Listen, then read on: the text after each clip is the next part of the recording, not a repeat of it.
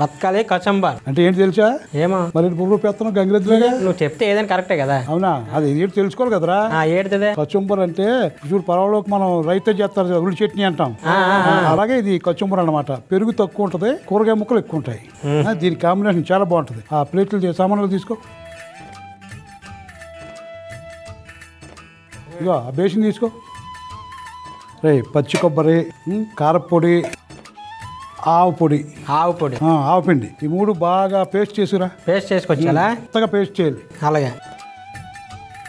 Paste చేసిన. Right. బాగా చేసావురా. రై ఆగు. ఇగో ఇది చేద్దాం పట్టుకో ఇగో ఇది పట్టుకో ఇది.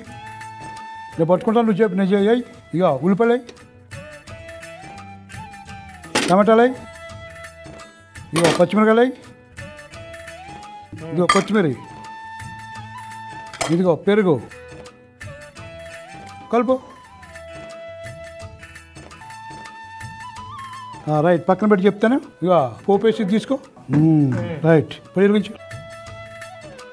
కొంచెం. నీకు అర్థం కావట్లే. బాబాయ్ నీకు మీ నాయనమ్మ గాజులని చెప్పి నిన్ను ప్రలోభ పెట్టి నీకేదో చూపించాడు తీసుకెళ్ళిపోయాడ్రా. వీటి వచ్చేరా. గాజులు కొంత అంతండ కొంచెం నూనె పోయి.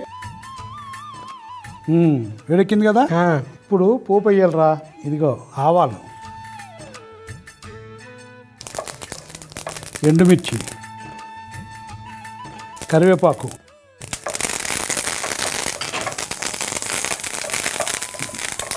చాలు పొయ్యి కట్టి ఇప్పుడు ఈ పోపుని దాంట్లో వేయాలి.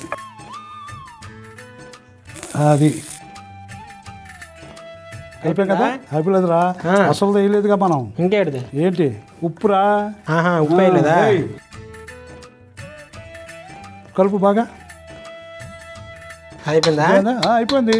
కచుంబర్ రెడీ. ఇప్పుడు ఆ కచుంబర్ది.